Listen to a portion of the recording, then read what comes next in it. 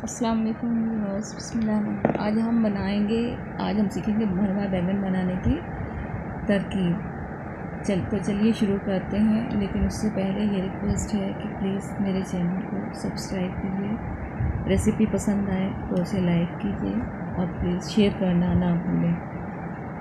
तो आइए चलिए बढ़ते हैं अपनी तरकीब की तरफ़। इसके लिए हम लेंगे सबसे पहले हम लेंगे हरे वाले भरवा, हरे वाले बैगन, क्योंकि उनसे भरवा बैगन बनने के बाद भी खूबसूरत लगते हैं। ये मैंने लिए हैं आधा किलो बैगन। आप अपने ज़रूरत के हिसाब से ले सकते हैं। ढाई सौ ग्राम। इन्हें मैं, ढाई सौ ग्राम, एक किलो या जितना भी चाहे, इन्हें मैं पहले धो रही हूँ। धो करके पहले बैगन को साफ़ कर लेंगे। उसके बाद अच्छी तरह से रगड़ रगड़ के धो लेंगे उसके बाद जो है, इसको बैगन को सुखा लेंगे। नहीं भी सुखाएँगे तो कपड़े से साफ़ कर लेंगे और फिर चलिए, अब हम मसाले की तरफ़ बढ़ते हैं। क्या क्या मसाले लेने हैं? मसालों को हम, मसालों में हम लेंगे लाल मिर्च, साबुत धनिया और ज़ीरा। नमक, खटाई और सौंफ, इन सब चीज़ों को हम बारी बारी तवे पर भून लेंगे। लाल मिर्च मैंने भून ली है। अब मैंने ये धनिया डाला है तवे पर भूनने के लिए। ड्राई फ्राई करेंगे, तेल वेल कुछ नहीं डालेंगे। धीमे धीमे आँच पे उसे भूनते रहेंगे तो चटकने लगती है और बहुत अच्छी सी खुशबू आती है। इन सारी चीज़ों को भूनने के बाद मैंने मिर्च की डंडी तोड़ ली है। और आम की खटाई को भूनेंगे नहीं, उसको अलग रख लेंगे। मिर्च की डंडी तोड़ ली सब चीज़ों को पीस लिया है। खटाई और नमक को छोड़कर सब चीज़ों को पीस लिया है। इनको मैंने बाउल में निकाल लिया है। अब हम इसमें नमक टेस्ट के हिसाब से और खटाई मिला लेंगे। ये खटाई, मैंने आम की खटाई, आमचूर पाउडर जिसे कहते हैं, वो मिला ली है सारी चीज़ें।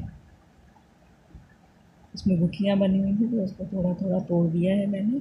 अब ये मैं स्पून से, चम्मच से इसे मिला रही हूँ, ताकि सारी चीज़ें अच्छी तरह से मिक्स हो कर के मसाला हमारा तैयार हो जाए। ये देखिए, मसाले को मैंने अच्छी तरह से, बहुत अच्छी तरह से मिला लिया है। सारी चीज़ें एक जान हो गई हैं अलग अलग नहीं नज़र आ रही हैं। अब इसके बाद आती है बैगन की बारी, अब हम बैगन लेंगे। ये मैंने धुले हुए बैगन ले लिए हैं। अब इनको मैं ज़्यादा लंबे हैं, इस वजह से इनको आधा आधा काट लूँगी। चाहे तो आप और छोटा कर सकते हैं।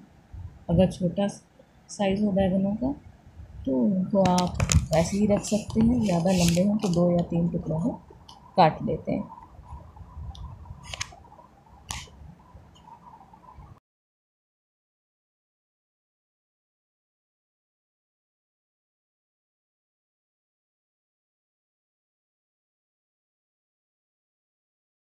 बैगन के अब हमने टुकड़े कर लिए हैं, ये देखिए। अब इसके बाद हम इनमें बीच में कट लगा लेंगे। इस तरह से कट लगाएँगे, दो दो कट लगाएँगे।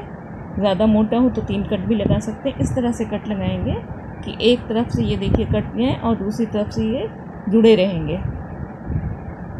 ये सारे बैगन मैंने इस तरह से कट लगा करके रख लिए हैं, बैगन के सारे पीसेस अब इसमें हम जो हमने मसाला ड्राई मसाला तैयार किया था, सूखा मसाला, उसको भरेंगे। ये देखिए, मैं एक बैगन में करके दिखाती हूँ आपको। इस तरह से स्पून ले करके इस तरह भरेंगे। ये इस तरह, हर पीस में इस तरह से भर करके हम तैयार कर लेंगे। ये बचे हुए मसाले को हम फेंकेंगे नहीं, इसको हम बाद में इस्तेमाल मिलाएँगे। अभी जब बैगन तैयार हो जाएँगे, उसके बाद। चलिए तो अब हम चूल्हे की तरफ़ चलते हैं।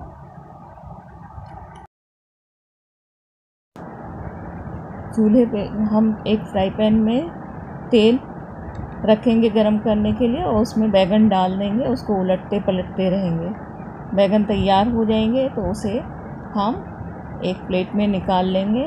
प्लेट में निकालने के बाद जो हमारा ड्राई मसाला बच गया था, उसे हम उस पर छिड़क देंगे ऊपर से और। टेस्ट लाने के लिए। अगर आपको कम मसाला पसंद है तो ना डालिए, अगर ज़्यादा मसाला पसंद है तो इसे रख लें। लीजिए, ये मज़ेदार लज्जतदार बैगन तैयार है।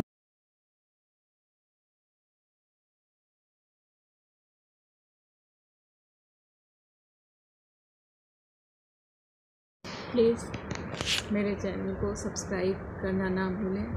वीडियो लाइक कीजिएगा और पसंद आए तो शेयर भी कीजिएगा। और कमेंट करके ज़रूर बताएँ कि वीडियो आपको कैसी लगी रेसिपी बनाने के बाद आप कैसी